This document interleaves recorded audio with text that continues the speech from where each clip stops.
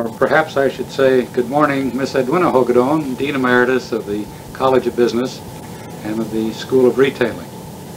What I would like to chat with you about this morning uh, is what I have chosen to call the oral history of the Institute, and because of the extremely important part that you had to play during the time that you were here, I would like to have you reminisce a bit about your experiences at RIT from the early 30s up until the present time. Uh, in particular, I would like to know a little bit about the students, about the faculty, some of the principal administrative people, the sorts of things that you did, first as a faculty member in the School of Retailing, and later as Dean of the College of Business. In other words, uh, why don't you just consider me as a newcomer to the Rochester scene and you bring me up to date about the uh, Rochester Institute of Technology. All right, go yes, ahead. Yes, thank you very much, Let, Dr. let, Smith. let's just, all right, now you're on the air. Fine enough. Well, thank you very much, Dr. Smith. If there's one thing I enjoy talking about, it certainly is the Rochester Institute of Technology, where I spent about 37 years of my life, and the uh, Institute is still very close to me, and I think a great deal of it. You were asking me to comment a bit about some of these 37 years, and without taking your entire tape, let me just highlight a few of the reminiscences that I can pass on to you. Of course, coming in the 30s, as I did, to Rochester and an outsider coming into the Rochester scene, I found that about the first thing we had to do here was to uh, gain the confidence of the, of the local people in the kind of work we were doing at RIT. Uh, most of them at that time thought of us as a little vocational school on Plymouth Avenue, and while uh, people were not against us, I'm not so sure they were for us either. And they had to get acquainted with us as people before they could really think too much about the kinds of programs we were doing. So those early days were spent not only developing and sharpening up uh, the kinds of programs we were offering, all of them were diploma programs, of course, under the direction of Dr. Charters and then later Dr. Tyler, uh, but also uh, working in the community to gain acceptance and to gain the confidence of the folks who were, uh, shall we say, at that time, quote, the establishment, quote, uh, of our Rochester area. Now, you came in the fall of 1931 31, yes. As a faculty member. in the in the, In the in retailing the retailing department, and I must say that I came with some reluctance because I had always said that one thing I would never be in my life would be a school teacher, and I turned out to be one rather early. I came from Pittsburgh and came to be a member of the faculty in retailing, which at that time uh, was starting to develop their programs along the uh, functional idea of Dr. Charters. About how many faculty were there at that time, who was the head of the department? Well, Georgiana Hathaway was the head of the department, and uh, we had on our faculty approximately, uh, well, I think perhaps about four or five people. Gertrude Sykes was one of my early friends on the faculty and a, a real staunch supporter. Then, of course, we had many faculty who taught uh, other courses like uh, English communications and uh, public speaking and this kind of thing. But we were a close-knit group, and we worked closely together in the development of our courses. We had a lot of coursework to do, and sometimes we felt it was quite a burden to have to do all that and teach at the same time. At that time, the co-op program was just beginning to emerge as a, an important uh, part of the total program. And we had students who uh, came to school in the morning and left at 11 to go to work in the Rochester stores and came back at 2 o'clock uh, to take courses from then until 5. We had those kinds of students, and then we had the students who were in classes for a four-week period and then disappeared for four weeks and went out on their co-op jobs. So you see, it was sort of like juggling balls in the air.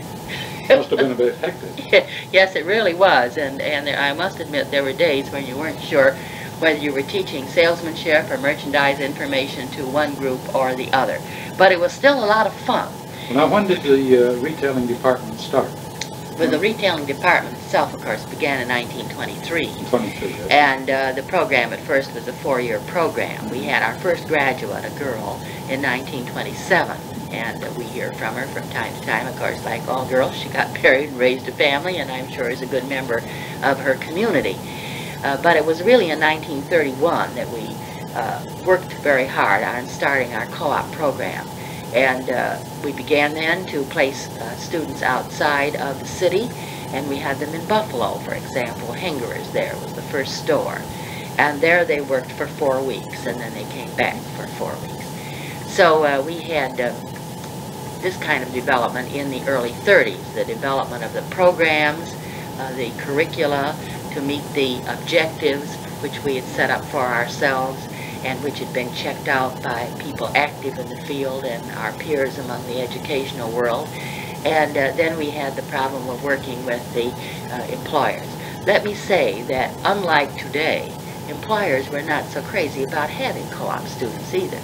In the first place, it was not a period of great economic growth and uh, the question of budgeting and so forth, so that uh, we had a lot of worries along that line, a lot of worries of placement. Of course, you were right into the depths of the Depression Indeed, also. we indeed we were, and we were in the depth of the Depression several ways. Uh, first of all, with regard to the placement of our students on co-op jobs, and also the problem of, of keeping the Institute budget in line, too. And I well recall, uh, which I'm sure many people won't believe today, that we took, all of us, a large cut in salary in those early 30s, just so we could keep all the faculty working. Very good. Now, you stayed at the Institute about three years, and then you went to... then I went back to uh, store work again, and I went out to Milwaukee, uh, where I stayed for several years in the personnel department of one of the large stores there. And then uh, I heard from Mr. Randall, who was president, of course, the Institute when I was there first, and still then was. And uh, he wrote and said that uh, uh, he was going to, Miss Hathaway would be leaving in another year, and he wondered if I wouldn't be interested in coming back to the Institute and understudying her uh, to be head of the department. We met in Chicago and discussed this matter, and finally I agreed to do this. And uh, I was to come back in August of uh, 1936. And uh, Miss Hathaway then would show me the ropes and I would be running the department uh, after a year. Well, I returned to find that uh, she had married Mr. Randall in the summer interim and uh, that she was no longer there and that I was running the department that first year with uh, Dr. Ellingson uh, going into the position of acting president. And I recall uh, that this was a, really a real big switch for me and uh, quite upsetting. However, Dr. Ellingson assured me that he thought I could do the job. And during that first year, I will always remember that I met with him once a week to go over my problems of the week and to discuss the ways in which they could be solved. He was a great help to me during that time. Uh, so that uh, coming in then was, uh, was a very uh, interesting experience for me. Well, after, uh, of course, I came in as head of the department, I had some faculty who had been with me there as uh, fellow faculty members, but we didn't, this really was no great problem. People in those days, and I presume are today, it was sort of all for one and one for all, and uh, the fact that I was head of the department did not seem to create too many difficulties. Now, let's see, what were the other areas of the Institute at that time? Well, of course, at that time there was the electrical and mechanical and the art department and the food administration department. And uh, you see, I think um, photographic department was beginning to emerge as a very important part of our program. And later, of course, publishing and printing came in and uh, so on. Uh, so that uh, we began then to acquire a few more departments as the years went on. Of course, we got to the end of the 30s and into the 40s. Uh, we uh, we got right into the World War II years, and uh, that was a real rough time because, of course, our men were going out to service and being drafted, so that the day school enrollment really became that of the food administration and the retailing departments, where the girls were, so to speak. Although they were not easy to work with either, because they were wanted to be where the boys were, and they weren't there. But uh, with the war programs that we ran for all the war plants in Rochester 24 hours a day, and with these efforts and with the small enrollments we had in the daytime, uh, we still managed to keep our heads above water. Then Dr. Ellingson uh, developed the idea of post-war planning committees, and we were all assigned to different committees. And uh, we, we talked about what we could do when that war was over. As I remember, it was established in about 1944. That's right, that's right. And uh, we, probably the most exciting thing that happened on the committee I was on was the recommendation we made, uh, C.B. Neblette was chairman, I remember, that we changed the name of the Institute. And uh, this was really rank heresy. Some of us thought we- we'd run right out of town, but we weren't. And of course, the name of the Institute did become the Rochester Institute of Technology. Uh, we also made other plans during that time, but I firmly remember a point that Dr. Ellingson made. He said, we have to plan so well in these committees, but he, that, of what we can do when the war is over, but remember, the day that the armistice is declared, Main Street is going to look just the same as the day before. Uh, so uh, uh, things are not going to be that different. It's going to be a gradual change, and, and certainly it turned out to be that way. But as we moved in then to the late 40s, and the war then did, as we all know, end, uh, we came into the 50s, and I look upon this as a period when we were able to build on the foundations that we had developed in the 30s and 40s, curriculum-wise, for instance. We were able to organize ourselves to get ready uh, for application uh, to uh, give the associate degree. Now, I think it was in 52, was it not? when we gave the first right. degrees. Uh, during this period, we'd had many visitors. The Institute had developed a number of, of course, the functional approach for curriculum development under Dr. Charters was something that many visitors were interested in. The uh, work we were doing in cooperative employment was still another area. Uh, the evaluation of our student work. At that time, we were using statement grades. Uh, all of these attracted other educators to RIT so that we had many people coming through. Uh, also, we had, of course, uh, problems in getting ready uh, for uh, organizing our work into the associate degree program. Now, rapidly on top of the associate degree programs, there followed the baccalaureate. That's right. So then we had the question of how we were going to build for the baccalaureate programs on the, uh, the associate programs.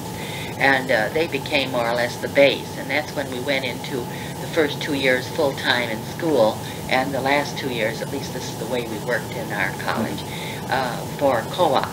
And it worked out very well that way. We felt that the students going in as freshmen uh, co-op were a little immature for it, and by the time they were juniors or third-year students, uh, they really were ready for the co-op work experience, and it enabled us to expand the placement from that first town of Buffalo, New York, uh, to as far west as Chicago, as far east as New York, as far south, in one or two cases, as Miami, Florida. Yeah. We also uh, found that no longer could the supervisors, as we were known uh, earlier, uh, handle the co-op placement as well as all the other administrative details. And so we developed within our areas what we call coordinators of cooperative employment. And those were the uh, people who had the responsibility for placement and for follow-up.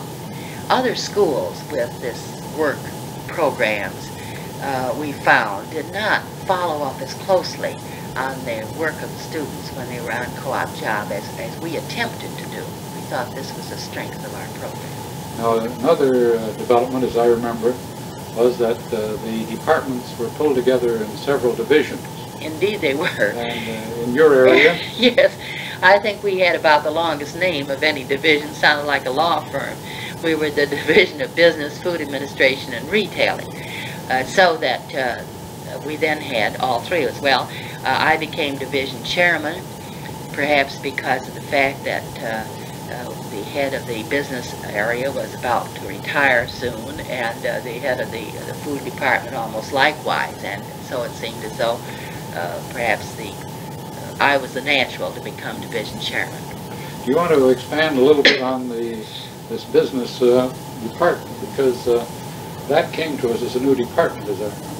Oh, yes, you mean the business administration? Yes. Yes, uh, there was a good deal of discussion about that. The McKechnie Lemger School had been a school of commerce here in Rochester and well thought of, too. Proprietary school. That's a proprietary school. So we had, uh, uh, when they joined us, uh, we really had uh, some new problems that we hadn't had before. In the first place, like many proprietary schools, they had a great proliferation of courses.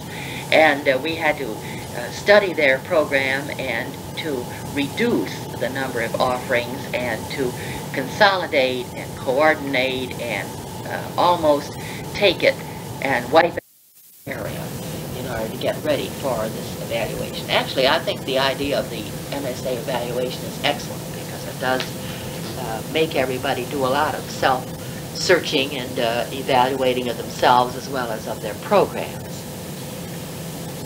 Now, let me see, after the uh, MSA... Immediately following Yes. the MSA accreditation, uh, the college developed and expanded, That's as I right. remembered, under your leadership. Well, we did grow, and at that time, I think, uh, shortly after that, we became uh, colleges at RIT with the deans. And uh, I think here, we began to feel uh, a sense of oneness somehow. I mean, we had been reporting in the early years to Dr. Ellingson, who had many, many responsibilities. Now we were able to report to the vice president in charge of academic affairs, yourself. And uh, here we felt uh, closeness. Uh, we felt here was somebody who could devote their entire time and attention uh, to the problems of the academic function of the Institute, while our president, with his broader uh, responsibilities, uh, would be released then to uh, fulfill them much more adequately. And, and I do think that it tightened up the administrative process. And while uh, as deans we had our differences, we still helped each other a great deal uh, in our in our regular meetings that we had together. Now, as, pardon me, as Dean of the College of Business, you also wore another hat. as Yes. Director of the uh, School of Retail. That's right. Uh, Somewhere along about this time, with the retirement of uh, Mr. Stauffer from the uh, uh, School of Business, as I remembered, uh, Dr. Jerry Young came on as Director of that School of Business Administration. Well, no, Leo, uh, not uh, Dr. Young, but Dr. Scott, You're right. Ralston Scott. And uh, he came to us um, uh, to head up the Business Administration School and was with us, I think, four or five years. I don't recall just exactly how long. But uh, he then uh, was, well, and Miss Hurley, of course, was head of food administration, and I wore the two hats as director of the School of Retailing and uh, dean of the college. We, uh, then Dr. Scott left us and uh, was followed then by Dr. Jerry Young, who came to us from Washington University. And I always th- thought it was interesting that when we were first seeking someone to replace Mr. Stauffer, of course at that time was the early part of the uh, 50s, I believe, uh, people didn't know us too well around the countryside. But after that, uh, and uh, we were able then to employ Dr. Scott, but after he left us, we found that we had grown to be known by more people. And so uh, replacing Dr. Scott was not as great a problem as it was establishing him in the first place. That's right. Uh, That reminds me of another question I've had in mind. What uh, is your recollection of the attitude of the community over the years towards RIT? Has this changed? Oh, yes, I think it has. I think it, it- I think it's grown a great deal. I think it, uh, that people now know us. Uh, I was amused one day to read in the paper that RIT's Miss Hogadone was going to retire. And I don't think that would ever appear in the paper in 1934. Nobody would have cared or known who I was. But uh, I do think that as a result of some of us uh, pushing in the community, being willing to do those extra hours of community service, simply because most of us like to do it anyway, uh, but because we wanted to get the Institute known, I think that today, uh, people that are working there are able to take advantage of this groundwork and uh, move ahead in the community. I hope they will do more of it. Uh, I, I know that the, Dr. Miller does, but I would hope that we would see more of it uh, on the part of faculty members. How would you characterize the student body in the early days, the first few years you were here, uh, compared to the student body at about the time of your retirement? Well, I think the student body in the early days were more inclined to accept uh, the uh, programs as they were set up and to feel that the people that had planned them had had experience and knowledge and uh, that therefore they were probably what they should be learning. They still did question uh, because of the fact that the students were co-ops, you see, uh, which meant that uh, they were out in the world of work. And so what you were teaching in the classroom uh, didn't seem to them to be very uh, practical or related to their work, uh, they were very quick to question it. but on the other hand, I think they questioned it in a less um, violent mood than the students, the later students later on.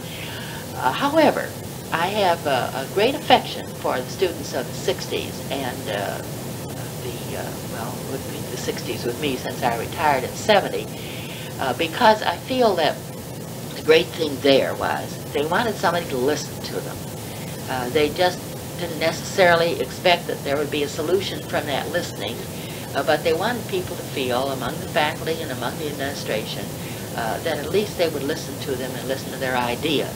We established in our uh, college quite early uh, a little group of students that we called the coffee uh, group where they met with the administrators of the college and uh, representatives of the student body that is and uh, met with us regularly and had a chance to express to us some of the feelings of their constituency and we had also an opportunity to, to explain some of the reasons why we were doing things this way.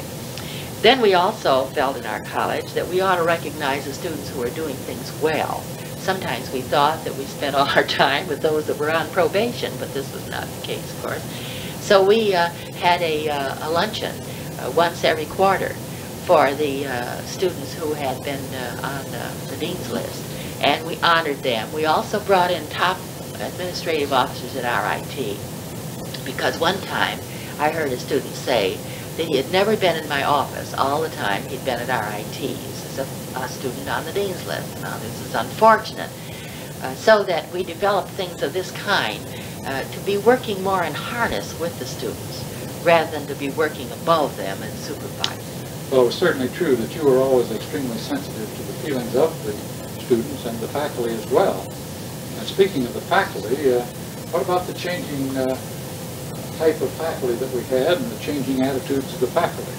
Yes, I think uh, I think faculty have changed down through the years. Of course, when you have a small group, as we had in the 30s and early 40s, and when you have the the great world problems that were going on during that time, like the Depression and World War II, and we still have many problems, we know that.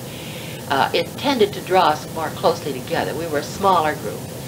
Then, uh, as you grow larger, uh, then I think you grow uh, a little different direction. I think the faculty today become uh, quite uh, uh, academic-minded, and that if someone hasn't just had all the education that they feel they themselves have had, then they really look a little bit with askance at those faculty members. But in the early days, it was the experience in the field, plus the ability to to uh, share that with the students that was terribly important. Today it seems to be uh, the, uh, the academic uh, education of the faculty member uh, more than, uh, than experience in the field that is the highlight of faculty. I still think faculty are very much interested in the students and, and I enjoy the faculty, but I think they have become much more regimented in their, their views. Now, I'm glad to have those reactions to faculty. Here's another question. Uh, what do you think the impact of the School of Retailing and the College of Business uh, has been upon the Rochester community? And what do you think the impact of the community has been upon the uh, college and upon the School of Retailing? Well, of course, as far as the College of Business is concerned, one way, of course, you can measure your success is how well your graduates are, are doing and how well they're accepted in the community. Uh, when uh, and also, of course, during some of the financial campaigns we've had, uh, we were able to find out whether uh, our uh, friends in the community will put their money where their words are.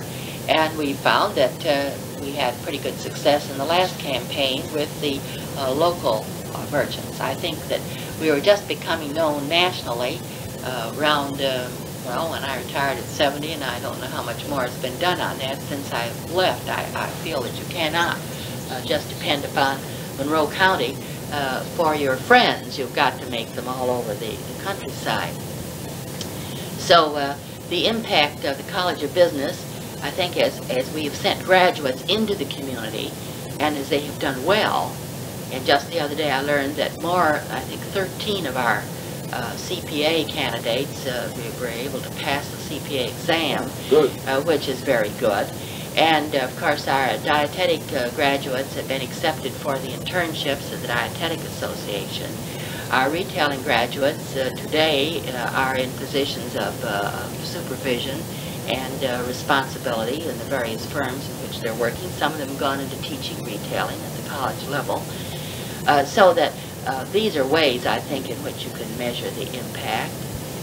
Now, you've been very modest about the growth of the School of Retailing, uh, but going back just a step or two, as I remember it, uh, we came to have an extremely large and vigorous school. How did it compare with other schools of retailing? Oh yes, it was the largest, uh, the largest one in the country, and uh, I think that uh, larger than uh, New York University, which of course was a, eventually became a graduate school, and now is no longer really uh, uh, the School of Retailing. And uh, some of the others that uh, belong to the American Collegiate Retailing Association, we we really were the largest, and of course I think that unless you have someone, I may comment this way, unless you have someone who is truly interested in the program and will push it, it will die. And this has been the case of the other schools. It died at the University of Pittsburgh. It's a dead duck at New York University. Uh, I could name about a half a dozen other colleges and universities around the country where at one time they had a vigorous ongoing program and were nationally known, and today they're not. And in most cases, it's because the person that really was had their heart and soul in it is no longer there. You've got to have somebody like that. Couldn't agree more. Yeah, I don't say this is wrong. I say this is a sign of the times, really. Um, in what way do you feel that the Institute's personality has changed, if it has changed, over the years, the time you first came to the time of your retirement? Well, of course, you see, uh, I think the great change in personality took place when we went to the new campus. And uh, I think that uh, the Institute has now become a uh, highly respected, well-known uh, educational institution for work uh, in its fields of expertise.